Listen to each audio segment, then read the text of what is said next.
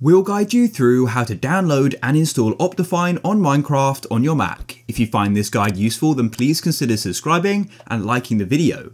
First of all, you need to go and close off Minecraft. And now what you need to do is go and make sure you've got Java installed.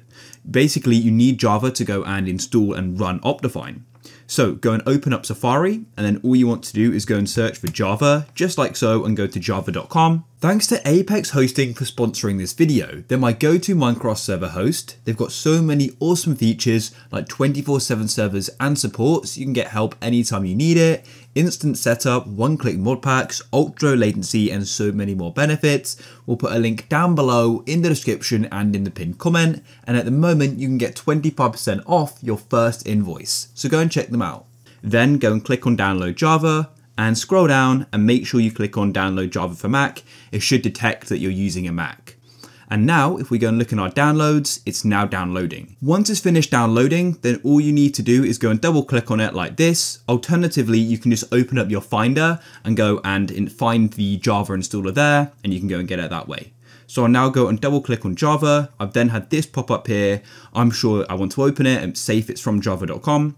And then we'll go and get this. So make sure you agree to this here. I already do, and I've read it before. So I press install, and you'll then need to go and enter in your password like this, and the install process will now go and run. Click on your search bar, and you want to go and actually search for Optifine, just like so, and then go to optifine.net. Now at the top, go and click on downloads, and you can see the different versions available. You can click on show all versions as well. So find the version you wish to go and get. Personally, I just like to go and get the fully released one. In this case, it's for Minecraft 1.20.1. So I'll then go and click on download like so. Now you are going to be taken to an ad wall. So just beware if there's any download buttons here, this isn't for Optifine, it's for the ad. You want to click on the skip button in the top right and you'll then be taken to the download page. And then you can go and click on download just here and the download should now go and happen. And then what you can do is close out of your browser and we can go and open up our Finder and go to the downloads. Here we are my downloads and Optifine is at the top here. So then what we can do is go and double click on it like so. And you may then go and get this pop up here. If you do, then all you need to do is click OK, it's fine. And you'll get may get another pop up. You need to go and open up your system settings. So I just opened up mine from the dock. You go and search for yours in the top Scroll down on the left here and go and click on privacy and security and then scroll down until you go and see this section here. It says Optifine was blocked from use because it's not from an identified developer.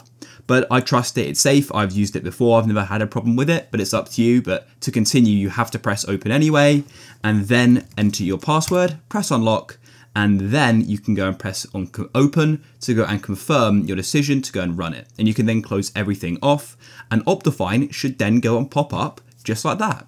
And it should go and find where Minecraft is and you can then go and press install and you may think nothing's happening, but don't worry, it sort of is happening, you just can't see it, and Optifine has now been successfully installed.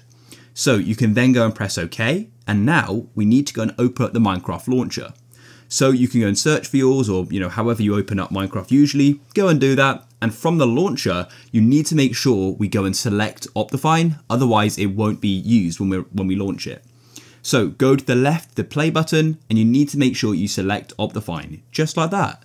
And then you can go and click on play. You need to understand that you're using a modified version because um, Optifine is like a modified version of Minecraft, but it's completely fine and it's now going to go and launch. It's now gone and launched and when we go and click on options and then video settings, you can see in the bottom left, we're using Optifine. And Optifine gives you so much more customizability. For example, in video settings, you're gonna see there's a load more options. You get things like shaders, you can then go into specific details and change them and animations as well. So if you're trying to improve your frame rate and yeah, things like that, it's super useful. And so here we are in the world and another awesome feature of Optifine is the zoom feature. So press C on your keyboard and you can then go and zoom in. So yeah, another useful feature. But I hope you guys found this useful. If you did, please consider subscribing and liking the video.